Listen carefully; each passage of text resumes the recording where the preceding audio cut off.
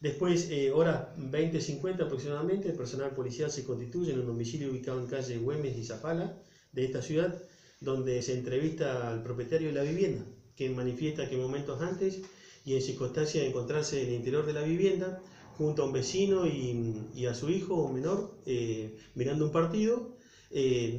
en un momento dado escucha tres, tres,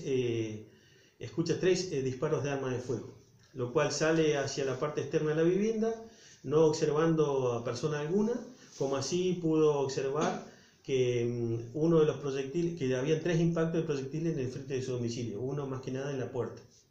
Personal policial realiza la diligencia de rigor, donde se contatan eh,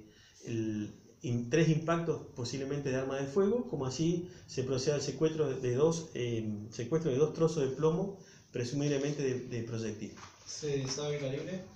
No, no se sabe el calibre, se, está por, está a terminar.